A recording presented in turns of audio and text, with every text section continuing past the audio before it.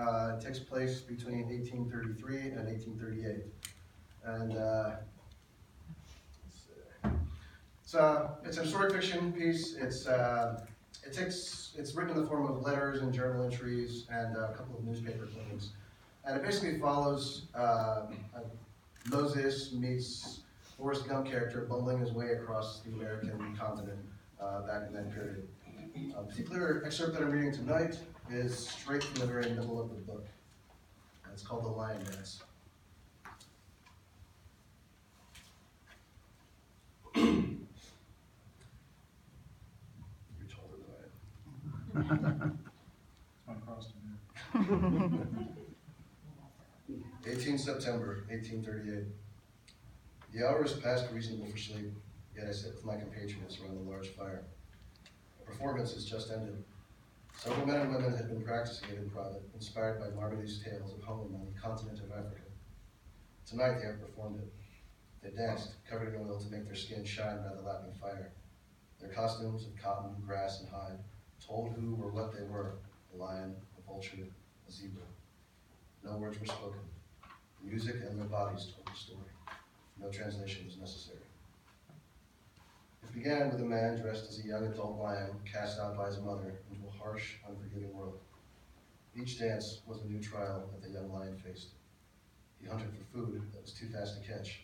He fought off hyenas, lions, ostriches, and every manner of creature. He wandered a dry desert in one dance and nearly drowned in a flood the next.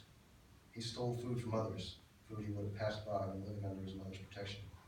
But he learned. He grew stronger. As he grew, so did his drum. The young lion was followed about by a man beating a distinct tattoo on the drum that hung from his shoulder. Each time a new character entered, a different drum with a different tattoo would, en- would enter behind it. If there was a fight, and there were many, that character's drum would play a simple and then return to the character's tattoo. Our hero would lunge in return, and his drum would also thunder before returning to his own tattoo. The combatants kept a bit of black or red paint on their fingers. When they struck each other, they left their marks as scars on the young lion, as he would leave marks on them. It was like a heartbeat racing, and then resting, and then racing again. As the story went on, the little lion grew into an adult, wearing a full mane of grass about his head. His drum was no longer a snapping tattoo, but a thunder that moved the bones beneath my flesh. He was now a powerful lion. He entered a strange land, seeking a pride. He met a grizzled old lion with scars from countless battles painted on his skin. His drum was deep, his rhythm measured and calm, yet full of menace. And they fought. Back and forth, dirt kicking up from their feet through the fire, blows from their open palms smashing loudly onto each other's chests and shoulders. Carried through the night as each drummer played for the hero. They pushed each other, threw each other, tumbled in the dirt, and came back to their feet, all as violent as if they genuinely wished each other harm. At the last, the old lion yielded and was chased out of the pride, with barely, with barely his life to show for it. I thought this the end of the yarn, yet before he had sat his throne longer than the lionesses could dance a circle around the fire, a challenger arose with a different drum. The challenger was dispatched in short order, just in time for another, and yet another. Through these battles, the lion's drum changed again to a flatter, measured, patient signature. He now wore scars on his face and body from the many battles he fought. He even lost an eye. The final challenger arrived. They fought long. They fought hard. And the challenger became the king. The end of the story. The dance for all attending begun. As I now write, people around the fire bring instruments from their living spaces. Flutes, a fiddle, a kora, and every drum that could be found were alive in hands around the fire. But the drums, they are a voice, no, a language. The drums, by hand or stick, tall or short, wide or narrow, speak, and all in attendance are listening. All are moved.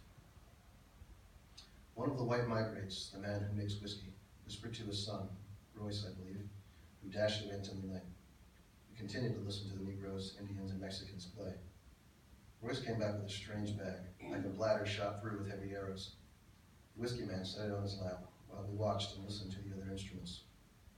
He blew into one of the reeds, and the bag made a peculiar sound, as if a half dozen vultures were falling from the sky in slow demise. All other music stopped. He shrugged, smirked, and went at it again, as hesitant as he, as he had begun. The drummer began a tattoo with his playing, and two sounds became one. Other drums slowly joined in. The flutes followed, and the fiddles surrendered at the last. The Negroes, Indians, Mexicans, and whites played their music together, dancing, spinning, singing. My attempt to capture this moment in a crude drawing does it little justice. I sketched their twisting bodies, their costumes, their instruments, as quickly as my fingers can. There was no time or light for detail, and eventually, I relent and trust my mindlessness to mark the paper. Finally, this I approve, though it is unlike any work I had drawn before. Widow has sat next to me for this entire performance without speaking a word. I have now known Widow for two years. This is the first time since I saw him take up a weapon that I did not see one on his person. I think this may be a good thing. I cannot reconcile whether I feel safer or more in danger when he is unarmed. Widow sat back in his hands and watched all, glancing at my notebook and back to the fire. He would not dance. His foot, however, gave truth to what his body withheld. He noticed that I had noticed, and so planted his foot gently. Widow, this will be fighting for? He indicated with his jaw. I smiled, yes. He seemed to think about this for a quarter or half a minute as I continued to draw, then replied,